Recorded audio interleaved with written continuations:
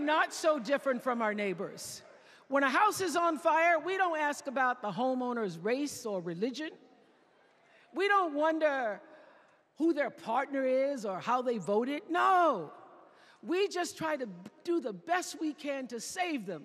And if the place happens to belong to a childless cat lady, well, we try to get that cat out too.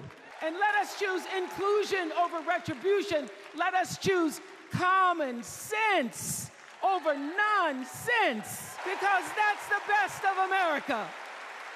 And let us choose the sweet promise of tomorrow over the bitter return to yesterday. We won't go back. We won't be set back, pushed back, bullied back, kicked back.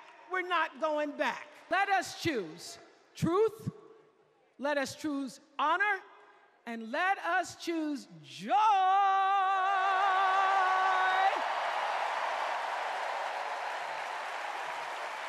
Because that's the best of America. But more than anything else, let us choose freedom. Why? Because that's the best of America. We're all Americans, and together, let's all choose Kamala Harris.